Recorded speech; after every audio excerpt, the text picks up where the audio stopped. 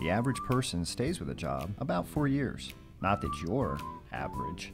That means roughly 11 job changes and double that number of bosses. You'll probably switch careers at some point, maybe as much as three to five times.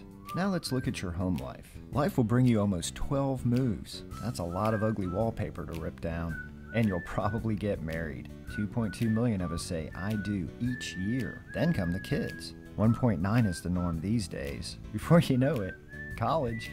As you get older, things change, needs change, circumstances change. What will your life look like when you're 70? You just never know. But you can be ready with Universal Life Insurance. Universal Life is a life insurance policy, but it can also serve as a savings tool if you choose. Every dollar you pay in is invested, and you can use the interest to help pay your premiums. You can even borrow from it for tuition, retirement, whatever. And when you die, the invested portion is paid out to your beneficiary, like an inheritance. What makes Universal Life unique is that you can adjust your premiums and coverage amounts along the way. Let's say you're in between jobs and money's tight. Take your premium payments down a few notches until your income is steady again. Or add coverage when you have kids, since more people will be depending on you.